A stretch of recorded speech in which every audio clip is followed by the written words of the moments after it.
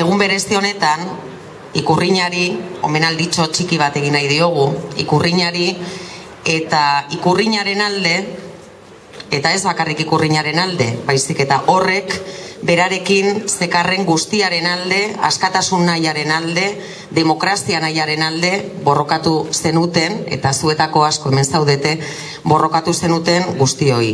Gaurre eh, berrogei urte dira, ikurriña legestatu zutela, eta hori etzen kasualidadea izan, etzen balizko demokrazia horren opari bat izan, baizik eta zuetako askoren eta jende askoren lanaren, jende askoren borrokaren, jende askoren militantziaren ondorio izan zen.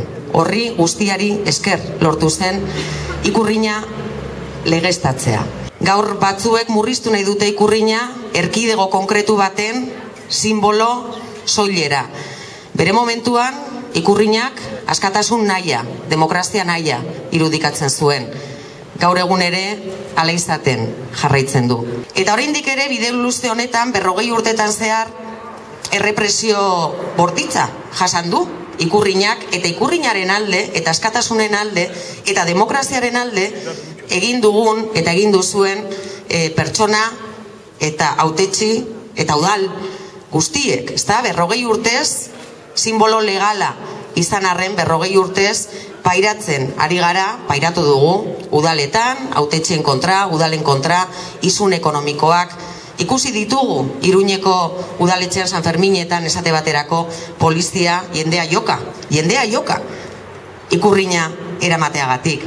Eta egun, oraindik ere, oraindik ere, ez daukagu simboloen lege demokratikorik, oraindik ere, momentu horretan alderdi sozialistak egin zuen txaketan laketa hori eta eta erabilera partidario hori jarraitzen dugu tamalez ikusten aldaketaren alde teorian dauden indar batzuen aldetik ere eta oraindik ere ari dira ari dira bueltaka eta bueltaka egungo legedi antidemokratiko hori bertan bera usteko aitzakiak bilatzen eta benetan demokratikoagoa eta inklusiboagoa izango den lege bat onartzeko zailtasunak jartzen.